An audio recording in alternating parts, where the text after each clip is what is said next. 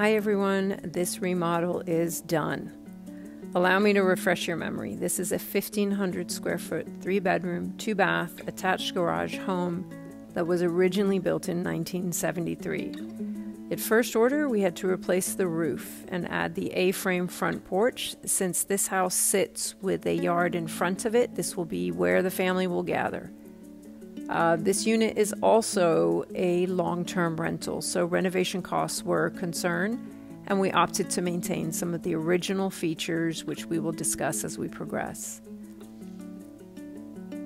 The kitchen was one of these features. The cabinets are in good shape. Um, they just didn't look right with these modern pulls and the countertops.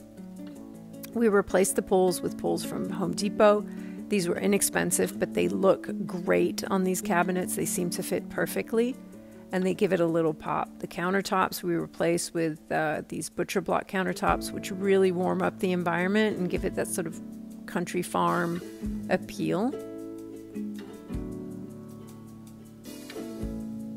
The other big job in this house was the bathrooms. They were terrible. So we gutted them. This gave us 120 square feet and we were able to build two bathrooms. The first one is a tub shower combination with a double vanity, and the other one is the ensuite with this walk in shower and the single vanity with a barn door into the bedroom.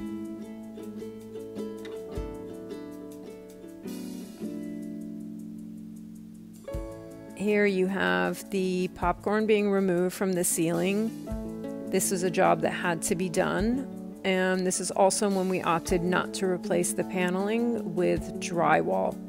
This was going to be an added cost that uh, eventually felt unnecessary. We were able to fix and repair this paneling and repaint it, retrim it, and make it look great. We added lighting and smoke detectors to code in all the bedrooms. Here you go. The rooms are now lit up. Um, the paint job looks great. We also replaced the doors, which were flat slab doors, and they were primarily in bad shape. But these new doors, um, again, bring some new element to the house, and they look fantastic.